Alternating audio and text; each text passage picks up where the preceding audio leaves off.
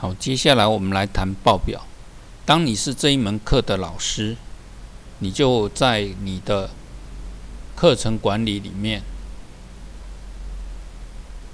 会有一个报表。好，在课程管理里面会有一个报表。这报表记录了些什么？你看一下日志。你想看哪一部分的日志，他都会给你看。所有的参与者还是谁？看某一个人，他曾经做了什么事？这是今天。如果我选择所有的活动，下载这些日志，你就会看到他什么时间，从哪个 IP，使用者是谁，做了什么事情，他都会告诉你。这样子，我们就很容易可以看到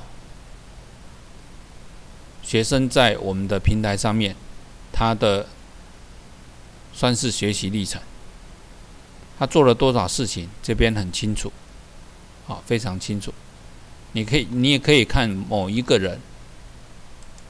假设我看访客，是不是有来看我这些日志？哦，有。当我这一个课程公布之后，竟然有这么多的访客从外面来看我的课程，啊，这些报表是很有用的，对你的课程的一些资料是很有用的。你也可以了解你的学生在你这一堂课里面学习的成果是怎么样。那在这边报表里面有很多选项，你可以慢慢的去看一下，他会做了些什么事情，啊，有哪些动作可以可以选择。按照不同的需求，我们可以找出不同的报表，符合你想要知道的一些讯息。